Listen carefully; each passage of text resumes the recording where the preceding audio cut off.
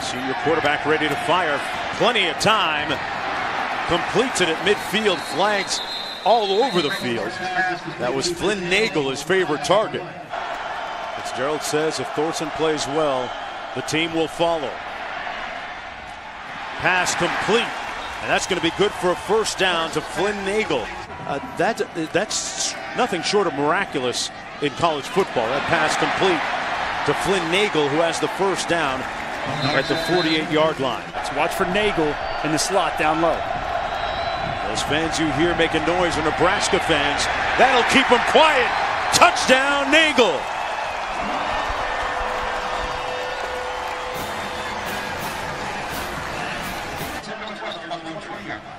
First and 10 for the Wildcats from their own 20. The pass complete to Flynn Nagel, who got a touchdown a moment ago. You got to get to work here, though. Pressure coming by Nebraska. Thorson caught by Nagel. And Nagel, with no one between him and the end zone, scores.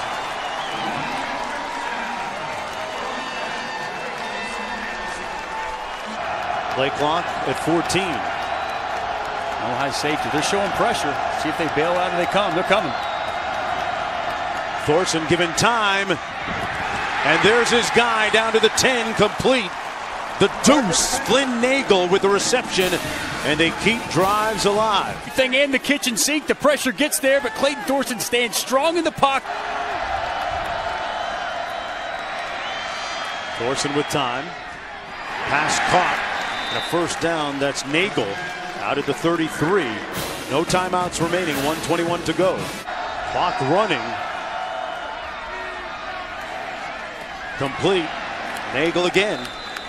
Brought down immediately by Deontai Williams. A nine yard gain. Time running at 40 seconds to go.